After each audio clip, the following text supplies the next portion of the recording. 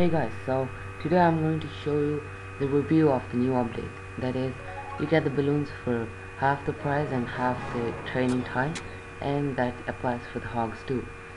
So let it load and I'll be doing the full re uh, review and I'll be attacking and showing you that whether it's useful or not. I haven't tried it yet. Um, as you can see I have trained them I have 20 balloons 20 hogs and I have uh, 3 healing spells. So yeah mm, so let's go and attack. My clan castle is filled and I have 2 hogs and some other troops there. So just um wait I'll just come back after I find nice space alright so here I found a nice base and let me just check for clan castle troops.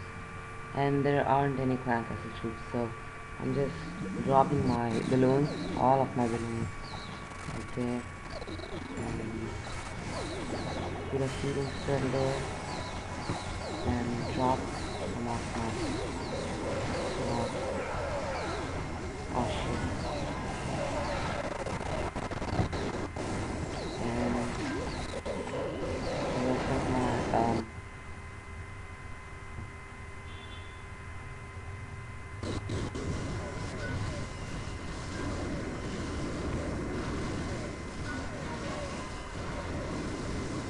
Oh shit, that was an epic fail. Um oh no. I hope my king goes there in right in the middle and gets some off. okay um I'll keep the Kraken troops here and my king over here I hope they get I hope they get 50% I know it won't be able to get we won't be able to get 50% but let's try our best.